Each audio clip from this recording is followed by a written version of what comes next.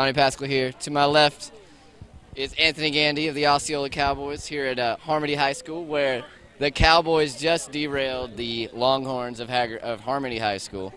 Anthony, big uh, county rivalry tonight. How's tonight's, tonight's win feel for you? Oh, it feels really good. I feel like I had a good game too.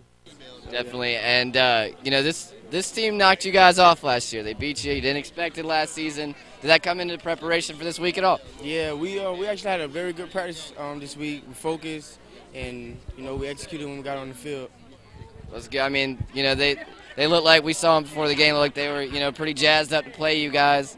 But I mean, you know, you know, a lot of people were saying, well, maybe Osceola won't be hyped, but you guys were. I mean, what what what was the motivation this week? Just just focus, score, and win.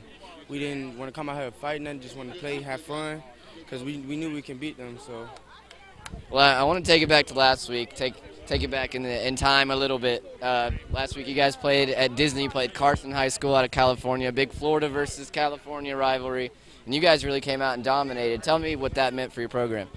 Oh, it meant a lot. Yeah, that's that's what gave us a boost to this game. So we went out there, executed, and you know D line did our job by pass rushing. So.